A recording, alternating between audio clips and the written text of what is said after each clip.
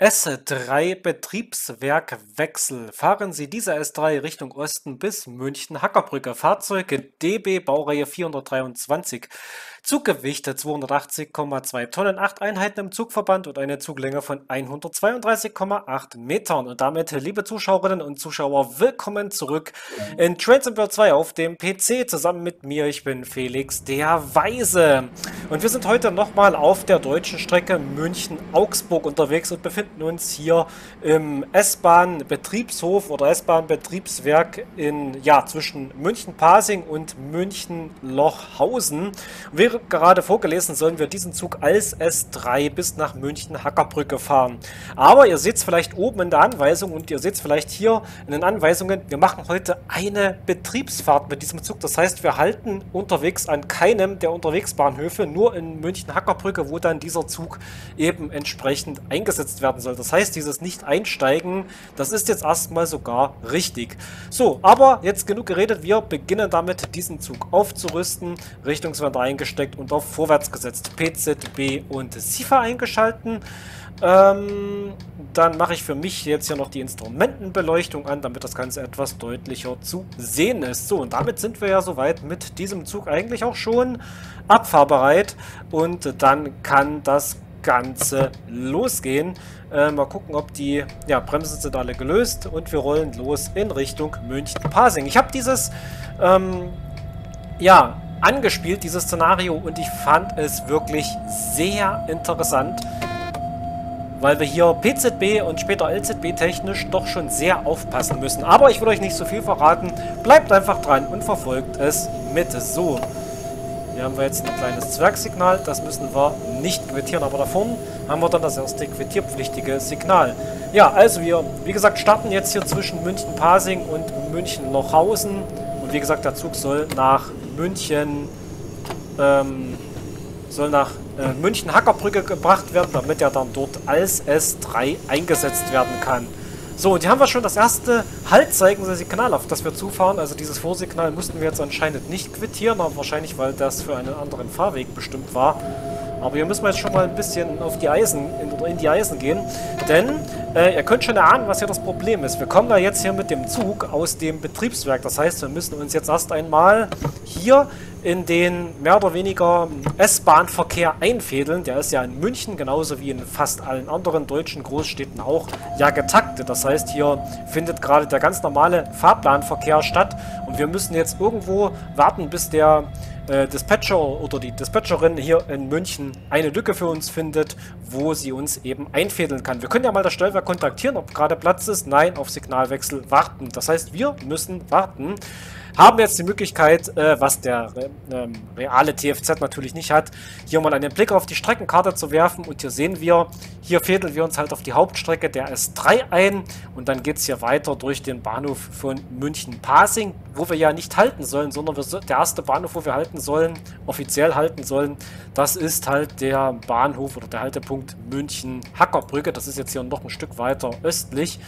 Also, ja, aber jetzt müssen wir erstmal warten und erstmal schauen, wo liegt ja eigentlich der Grund. Und ich vermute, dass wir erst noch einen anderen S-Bahn-Zug vorlassen müssen. Gucken wir mal, ob hier irgendwo einer kommt. Ne, hier ist keiner.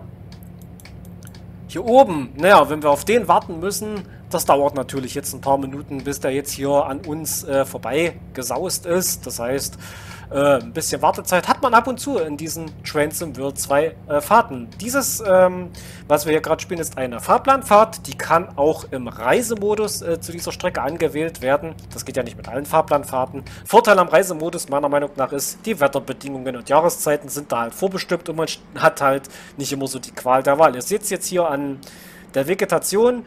Äh, ein wunderschöner Herbsttag, wo wir jetzt hier eben warten. Und Betriebsfehler, jetzt gibt, wird es gleich Anpfiff geben. Was haben wir vergessen? Ja, ihr habt es vielleicht gerade gesehen, richtig. Das ist mal wieder, wenn man zu viel redet. Äh, wir müssen selbstverständlich die Signallichter natürlich einschalten, wenn wir hier mit dem Zug uns... Also das ist schon ein sehr, sehr grober Betriebsfehler, ähm, der jetzt eigentlich nicht so hier vorkommen darf. So, jetzt steht das richtig, aber das nicht einsteigen ähm, wenn wir uns jetzt hier einfädeln, kann das natürlich passieren, dass wir einem Zug hinterherfahren und vielleicht doch mal an den S-Bahnhöfen anhalten müssen. Deswegen würde ich sagen, lassen wir mal das nicht einsteigen so weit eingestellt. Und ja, könnten natürlich jetzt aber auch schon das richtige Fahrzeug. Wir können das ja machen, dass wir das Ganze schon mal vorweg einstellen, aber noch nicht übernehmen. Und zwar äh, sollen wir ja als S3, so wie ich das verstanden habe, dann weiterfahren in Richtung Holzkirchen, beziehungsweise der Kollege oder die Kollegin macht das.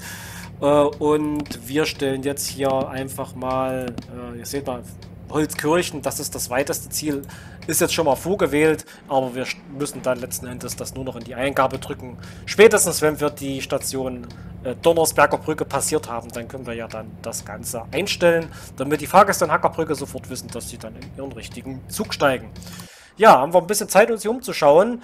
Hier äh, auf dieser ähm, Strecke äh, wie gesagt, man hat manchmal Wartezeiten. Ihr könnt euch vielleicht noch daran erinnern, wir hatten doch mal irgendwo auf einer Strecke eine Wartezeit, da mussten wir sogar, ähm, äh, da mussten wir sehr lange, ich glaube eine Viertelstunde oder sowas warten. Ganz so lange wird das Ganze heute wohl nicht dauern. Hier sehen wir auch gerade, dass es hier Bauarbeiten gibt und hier sehen wir weitere, den Punkt, wo wir äh, losgefahren sind äh, noch zwei weitere abgestellte S-Bahn-Züge. Wir sind ja jetzt auch, glaube ich, am, wann sind wir unterwegs? 12 Uhr, also Schülerverkehr. Wenn das jetzt ein Wochentag ist, müsste ja der Schülerverkehr so langsam beginnen.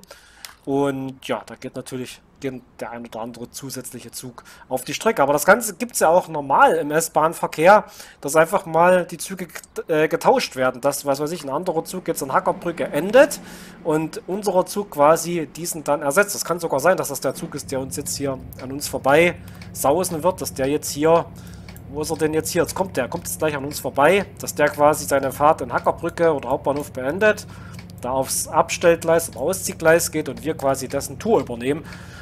Habe ich selbst schon so bei der S-Bahn Berlin äh, erlebt, dass sowas dann doch durchaus mal vorkommt. Und das ist jetzt nichts Ungewöhnliches. Ungewöhnliches eher, ähm, ja, also wenn, dass wir schon wieder Leute hier im Zug haben, also dass der schon beladen dasteht, also oder die kontrollieren unsere Arbeit, aber da kriegen wir auf jeden Fall schon Anpfiff, weil wir mit falschen Signalleuchten losgefahren sind. So, hier drüben saust der Zug an uns vorbei. Auch eine S3, weil es ist ja nur die S3, die äh, von Pasing aus in diese Richtung fährt bis Mammendorf. Kann man übrigens auch hier sehr, sehr viele Fahrplanfahrten machen bis Mammendorf oder bis Maisach. Aber auch die anderen S-Bahn-Linien kann man hier übernehmen, die zwischen Pasing und Hauptbahnhof unterwegs sind. Die ist äh, 4, ist 8 und so weiter. Also da gibt es ganz, ganz viel zur Auswahl. So, jetzt aber dürfte dieses Signal hier gleich umschalten, sobald der Zug den Block passiert hat. Das hat er jetzt getan und das bedeutet für uns Anfahrten mit höchstens äh, 40 Stundenkilometern. Das heißt, wir fahren dem jetzt direkt hinterher. Das heißt, wir müssen hier wahnsinnig aufpassen, PZB-technisch. Uh, sicherlich eine sehr interessante Herausforderung. Und zu meiner eigenen Überraschung kommt dann später noch die LZB. Ich habe es nicht zu Ende gespielt, aber ich habe es angespielt. Und das will nicht quittiert werden, aber soll mir ganz recht sein. Ähm, 400 Meter müssten wir schon wieder halten.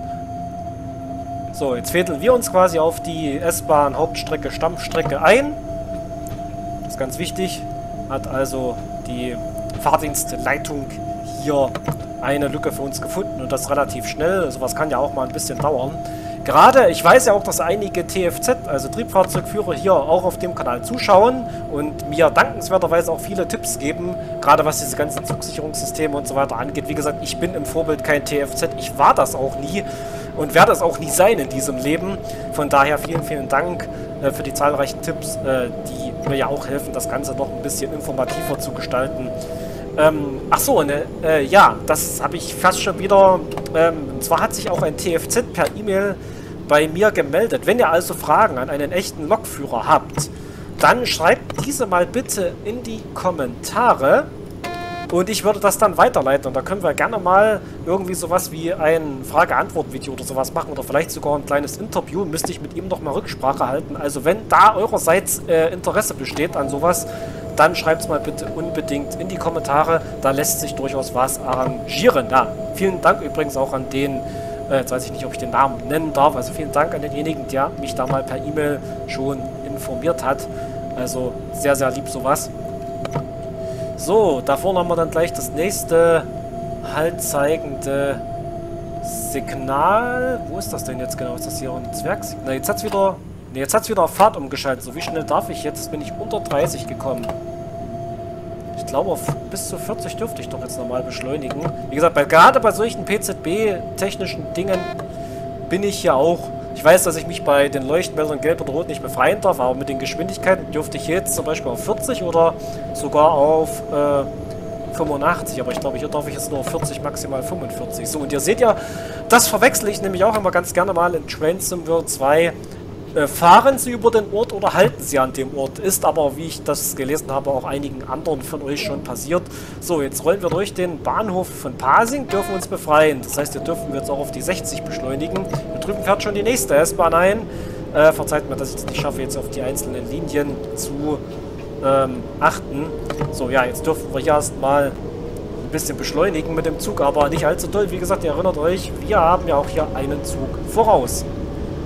So, Gehen wir mal auf die 80. Da vorne ist das schon das nächste Signal, wo wir ohnehin wieder quittieren müssen. Von daher werde ich jetzt gar nicht schneller als diese 85 fahren. Das ist die Überwachungsgeschwindigkeit. So, hier war ein Magnet, aber der betrifft uns nicht. Aber dieser betrifft uns. Hier müssen wir schon wieder auf 45 runtergehen. Weil das... Ne, müssen wir schon nicht mehr. Jetzt können wir schon dabei bleiben, weil dazu dieses Signal auch passiert hat. Hier drüben, ihr seht, es fährt ein Güterzug äh, vorbei. Äh, die Güterzüge und so weiter, die bekommt ihr zu sehen, wenn ihr eben hier auch andere deutsche Strecken und deutsche Lok-DLCs besitzt. Äh, dann habt ihr die Möglichkeit eben auch hier viel mehr KI-Verkehr zu sehen und auch viel mehr Verkehr zu fahren. Zum Beispiel Güterzugfahrten mit diversen Güterzugloks, beispielsweise der 187 oder der 155 oder eben Doppelstockzüge zwischen München und Augsburg oder mit der 425 zwischen München und Augsburg. Also da gibt es ganz viele Möglichkeiten. Ihr seht, jetzt hat sich hier die LZB dazu geschalten. Ähm, die wird uns diesen ganzen Verkehr jetzt, sage ich mal, etwas vereinfachen, aber wir müssen schon auf diesen blauen Balken, ihr seht es hier im Streckenmonitor, den müssen wir achten. Wenn der runtergeht, müssen wir auch mit der Geschwindigkeit runter möglichst mit diesem Balken zusammen oder etwas vor diesem Balken. Deswegen fahre ich jetzt auch nicht so schnell. Ihr seht auch dieses G, das bedeutet ja schon so viel, jetzt nicht mehr beschleunigen, äh, sondern anfangen zu bremsen, beziehungsweise darauf vorbereiten, dass wir gleich runtergebremst werden. Also hier muss man schon sehr aufpassen, wenn man, und hier empfehle ich fast schon, die Zugsicherungssysteme zu nutzen. Auch wenn das ohne vielleicht manchmal so bei so geringen Geschwindigkeiten sogar noch etwas einfacher ist, aber bei ganz hohen Geschwindigkeiten empfehle ich immer, diese Zugsicherungssysteme zu nutzen. Und wenn wir im LZB-Betrieb sind, ihr seht es ja selbst, dann müssen wir äh, keine PZB benutzen. LZB steht ja über der äh, PZB, weil die PZB, die ist ja immer noch, fährt man ja immer auf Sicht und LZB, das ist dann wirklich alles hier computergesteuert. Ihr seht ja auch die Kabel und diese Kabel leiten da die entsprechenden über Antennen im Zug, diese entsprechenden Informationen weiter. Ähm, das Ganze wird halt über einen großen Zentralcomputer gesteuert. Soweit habe ich das mal gehört, das Ganze funktioniert. So, jetzt müssen wir erstmal nicht mehr bremsen. Also lassen wir den Zug rollen. So, muss man halt nur gucken, wann die LZB irgendwann zu Ende ist. So, das ist der nächste Bahnhof, den wir durchfahren. München-Leim. Von hier zweigen dann unter anderem die S-Bahn-Strecken in Richtung, äh, in Richtung äh, München Flughafen, Freising äh, und Dachau bzw. Petershausen ab, also die S1 und S2. S1, nicht wundern, hat äh, nordwestlich zwei verschiedene Ziele. Und ihr seht hier, haben wir jetzt ein bisschen hier ähm, LZB-technisch die Ziele hier. Wir jetzt ein bisschen rummelig gewesen. Ein Glück, dass wir keine Zwangsbremsung hatten. So, rollen wir also hier raus. Können auch mal einen Blick hier auf die Stadt in München werfen, auch wenn die Güterbahnhöfe hier relativ leer sind. auch auf den Fernverkehrsgleisen nicht so viel los ist.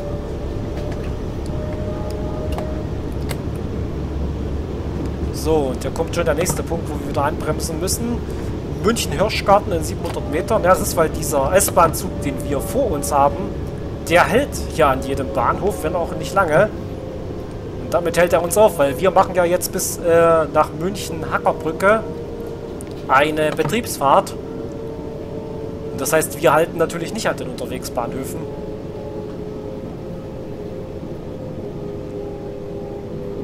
Deswegen hält der uns so ein bisschen auf. Aber find, ich finde da eben auch gerade solche Fahrten sehr interessant. Es gibt ja auch so ein, wo man, äh, so ein Szenario, wo man eine S-Bahn, ein kurzes Stück S-Bahn fährt und die S-Bahn danach abstellen muss. So hier, ach hier, hier sehen wir den Zug und kurioserweise ist dieses Signal aber hier ausgefallen. Ich hoffe, wir kriegen jetzt ja keine Zwangsbremsung. Jetzt waren wir doch fast schon im selben Block wie der andere Zug. Der fährt nämlich hier gerade vor uns weg. Oder müssen wir uns... Ne, verbinden müssen wir uns nicht mit dem. Das auf gar keinen Fall. Aber davon haben wir wieder ein haltseigendes Signal.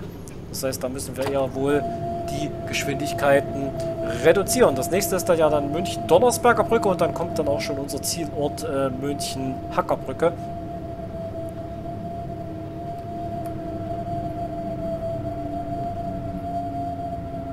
Ah, also sehr, sehr konzentrationstechnisch auf jeden Fall. Und hier kriegen wir eine Auszeichnung. Nee, Train Simulator war das jetzt irgendwas gewesen. Das ist, wenn man die Errungenschaften So, da hat es gerade auf Null gebremst, die LZB, und dann geht es schon wieder weiter.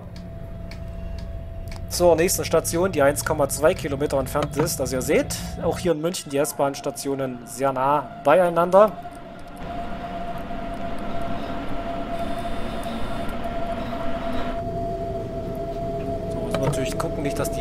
Die LZB irgendwann hier zu Ende ist.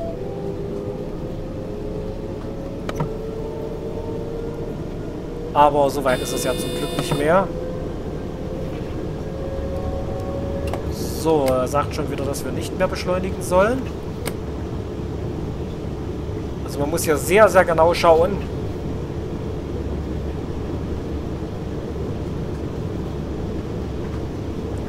Aber auf jeden Fall eine sehr, sehr interessante Fahrt. Es ist halt nicht immer so dieses Schnöde und Stumpite von A nach B, sondern man hat eben auch, mittlerweile ist der Reise- und Fahrplanmodus so interessant geworden, dass man eben sowas wie Betriebsfahrten, wenn ihr euch doch so am Anfang von Trains in World 2 jetzt oder die, den Vorgänger Trains in World 2020 erinnert, da waren ja die Fahrplanfahrten teilweise ja schon sehr, sehr einseitig, weil immer dasselbe A nach B und nichts Besonderes hattest. Und das hat sich mittlerweile seit den Jahren wirklich gegeben. Es ist immer umfangreicher geworden, immer interessanter. Ja, glaube ich, gerade eine 425 als Regionalzug, wenn ihr das richtig gesehen habt. Egal wie oft ihr diese Szenarien spielt. So, hier durchfahren wir jetzt München, Donnersberger Brücke, auch S-Bahnhof, aber auch äh, gleichzeitig für einige wenige Regionalzug-Haltepunkt. Äh, äh, so, müssen wir schon wieder runter mit der Bremse. Jetzt geht es wieder höher. Also ihr seht, rauf und runter. Hier zweigt auch die Strecke in Richtung Deisenhofen ab.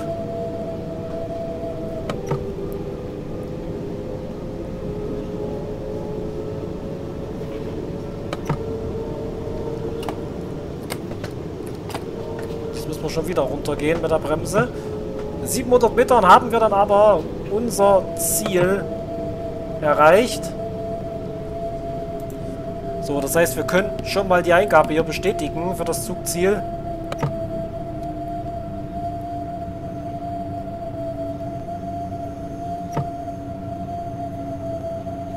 So, da vorne ist das besagte Signal.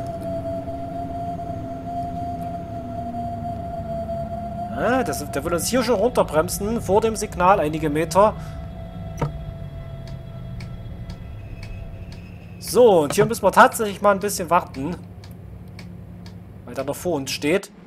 So. Oh, Moment, Moment, wieso hatten der das jetzt nicht übernommen? Ich wollte doch das Zugziel für die S3 eingeben. Äh, Zugverband. Jetzt können wir das nämlich mal machen. Dass wir nach Holzkirchen fahren. Ich gehe mal davon aus, dass Holzkirchen unser Ziel ist. So, Eingabe und zurück. So, hast du das jetzt genommen? Hier drüben fährt der nächste Zug an uns vorbei. Und jetzt haben wir aber auch das Zugziel drin. Sehr gut. Okay, anscheinend wird der Zug vor uns jetzt außer Betrieb genommen. Und wir... Ja genau, der steht halt noch da. Ach, wir sollen wahrscheinlich dann hier auf das Nebengleis rüber, schätze ich mal. Und den quasi, dass der außer Betrieb geht. Aber der hat schon Fahrt. Also der dürfte normalerweise auch schon abfahren, damit wir dann einfahren können. Ihr seht auch hier die Gleise, Hauptbahnhof Tief in München. Sie sind, äh, sie liegen zwar, aber da gibt es keinerlei Stationen. Irgendjemand hatte das mal geschafft, da runterzufahren, aber da ist dann halt nichts weiter. So, jetzt kommen wir rein. So, auf geht's. Dann haben wir nämlich auch diese Fahrt hier beendet. Dauert sage und schreibe 20 Minuten, obwohl wir nirgendwo gehalten haben, aber eben, oder mehr oder weniger Verkehrshalte hatten, sage ich jetzt mal. Okay. Was immer noch? LZB. Und die LZB erspart einen halt das, die ganze Quittiererei. So. Was sagt er schon? Okay, aber wir können trotzdem, glaube ich, noch so ein bisschen auf 40 oder so gehen. Da drüben steht der nächste Zug. Also der S-Bahn-Takt hier sehr, sehr dicht. Ist ja auch ein Vorbild so in München. Also auf der Stammstrecke, da hast du ja alle 5, 2, 3 Minuten einen Zug. Aber manche Linien dann, glaube ich, die längsten Umläufe auch dann nur wie in Berlin alle 20 Minuten. So, dann Einfahrt. Hier warten auch schon ganz, ganz viele Menschen, die hier anscheinend in Richtung Holzkirchen wollen. Äh, auch sehr interessant in München ist auf jeden Fall der ähm, Berufsverkehr der Münchner S-Bahn. Da fahren ja die Züge nicht sogar in Doppeltraktion, sondern als Langzüge. Das heißt, da hast du äh, drei, vier äh, 23er zusammen. Also das ist dann sehr, sehr interessant, vor allem in, den, in diesen Bahnsteigen zu halten wo du dann nicht so viel so hattest. So, wir haben das Ziel erfüllt und sehen die Auswertung. Wir müssen nicht mal die Türen öffnen. Deswegen habe ich das nämlich vorher schon mit dem Zugziel gemacht und wir kriegen die Auszeichnung eine schöne Fahrt. Ja, und das war das heutige Video für euch. Heute mal ein bisschen länger als im letzten.